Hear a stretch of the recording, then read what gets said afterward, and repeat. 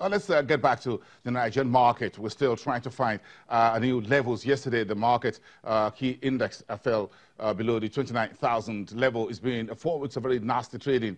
Uh, here, investors still trying to look for a catalyst from the market. But the biggest story on that market street Thursday was the reappointment of Godwin Emefiele as the central bank chief by President Muhammadu Buhari in a letter that he sent to uh, the Senate yesterday. And you can see there the early numbers, uh, sorry, the numbers for yesterday, very uh, a decline there for your share index, uh, 10.86 uh, trillion. Uh, uh, naira. So if, if, you take that and you look at in terms of a primary market data, that's a bit consistent with our daily average, with the exception of the deals, which is a little bit much higher than about 3,000, which we have as a daily transaction level. That's very active, 5,646 investors very active. In Naira volume, 2.05 billion naira, that's not too significantly different. But if you look at the uh, markets, uh, the five key segments where the market bled, insurance gave the market 1.09%, the market threw that of the window, half a percent from the oil and gas. Then you find banking sector taking a big dip, half a percent, and consumer goods uh, a little bit flat, like uh, the industrials, uh, which was uh, finished neuter. The oil and gas was largely unchanged, as it were, on the day. But the uh, big story uh, is from uh, the fixed income market. If you look at the NASD, it was also flat. So both on the NSE and the NASD over the counter, quite a very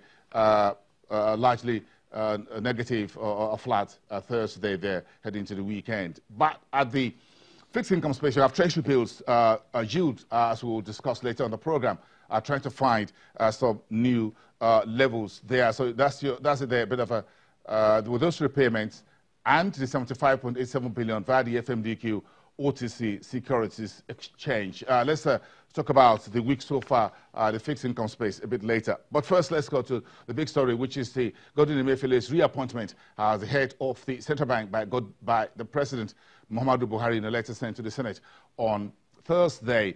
Uh, Wale Olusi is the head of research at United Capital. is live to us from our studios here from uh, Nigerian Stock Exchange trading floor. Wale, good morning. Welcome to the program.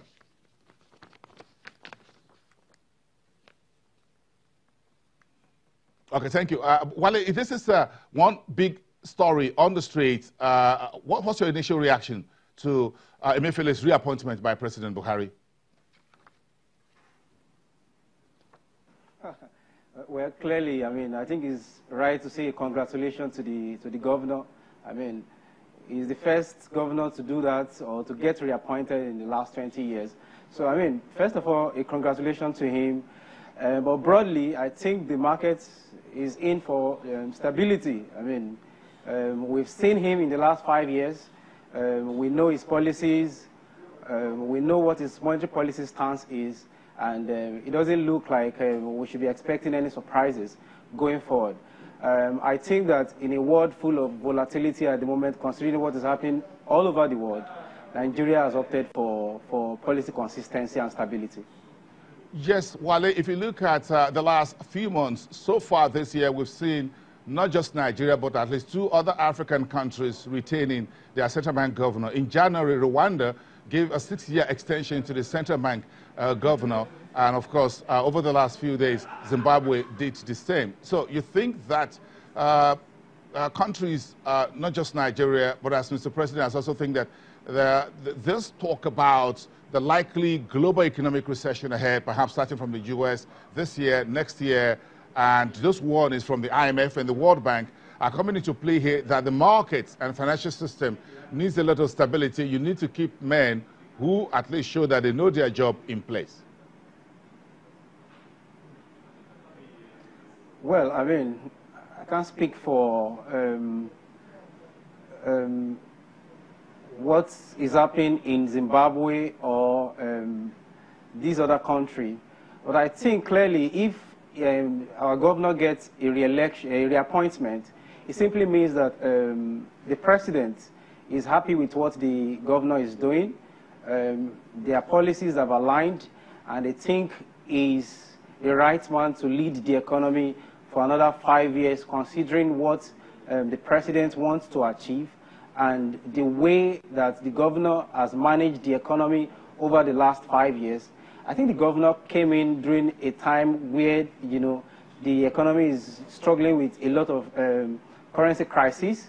He was able to, you know, find his way around it thanks to the I and E window, which has been able to stabilize the currency market. And again, the reserve has, you know, shown a lot of resilience, over 40 billion so far. So we think the president is happy with what the governor is doing. The market thinks it's, you know, signal stability, and I think that's what we should be looking forward going forward.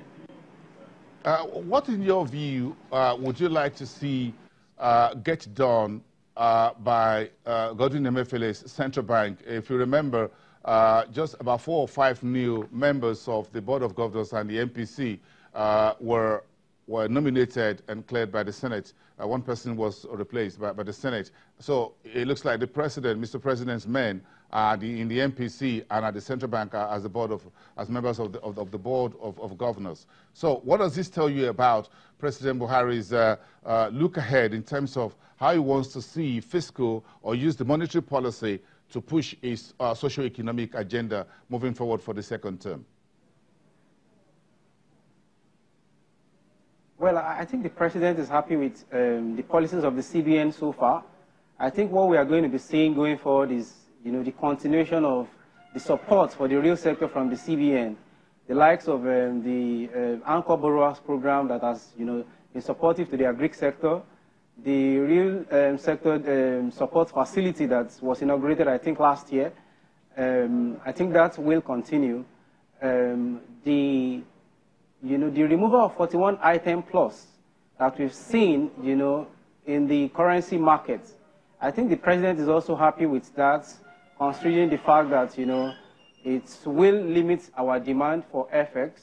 Um, you know, all of these things are what we think the president is looking at for. But for us, what we think um, we would like to see is a policy stance that will also find a way to support a faster growth in the Nigerian economy because over the next five years, four years from now.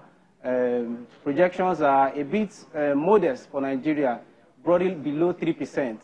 So if the CBN can look into how to stimulate a faster growth environment, um, considering what's happening in the fiscal space, we think that will be much more positive for the economy. What about the stock market? Well, I mean, for the stock market, um, I think the reaction is really expected to be neutral. Um, we've seen the CBN governor is going to be there for another five years.